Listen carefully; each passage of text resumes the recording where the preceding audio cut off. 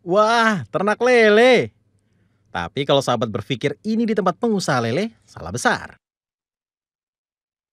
Karena budidaya lele ini ada di ruang publik terpadu ramah anak atau RPTRA Sunter Muara, Sunter Agung, Tanjung Priok, Jakarta Utara. Ada dua kolam lele yang berisikan masing-masing 500 bibit ikan lele yang kini sudah berusia satu bulan. Selama pandemi, warga memang dilarang oleh pemerintah daerah untuk berkumpul di RPTRA. Alhasil, pengelola pun membudidayakan lele ini sebagai ketahanan pangan wilayah ini. Sebelumnya, pengelola RPTRA Sunter Muara Sunter Agung Jakarta Utara sudah memanen sedikitnya 50 kg lele yang dijual ke masyarakat dengan harga yang spesial dan hasil penjualannya pun dibelikan kembali benih dan juga pakan lele untuk kembali diternakan.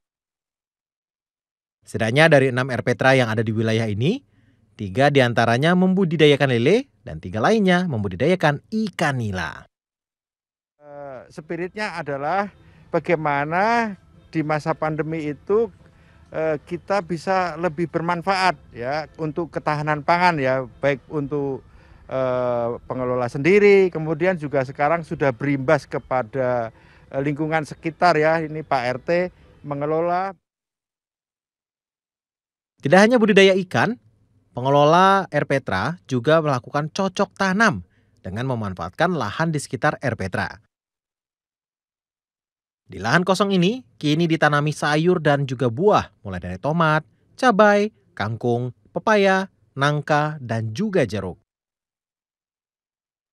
Selain bercocok tanam dengan cara konvensional, pengelola juga menggunakan media hidroponik serta rumah kaca alias greenhouse untuk tanaman yang lebih sensitif.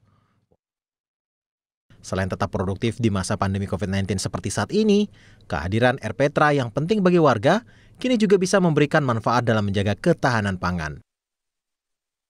Warga pun diperbolehkan membantu dalam pemeliharaan budidaya ikan dan juga sayur yang nantinya akan diupah dengan hasil panennya.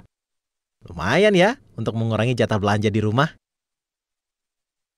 Dari Jakarta, Indra Bramantio, Ramdan Mulia, RTV.